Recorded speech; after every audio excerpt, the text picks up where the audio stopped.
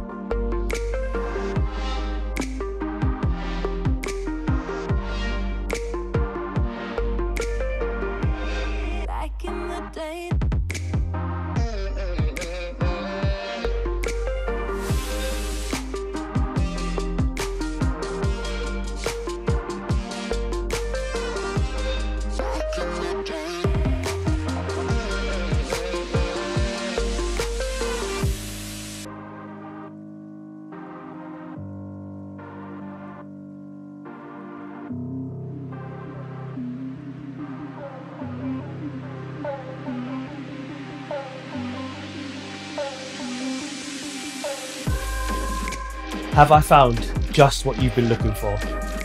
A three bedroom family home that has been maintained and modernised to a fantastic standard, with the additional bonus of a loft room that has been maximised to allow for segregation for yourself or for your children. Do not hesitate to give us a call. I'm Dwayne Shariar, and we are Balgores.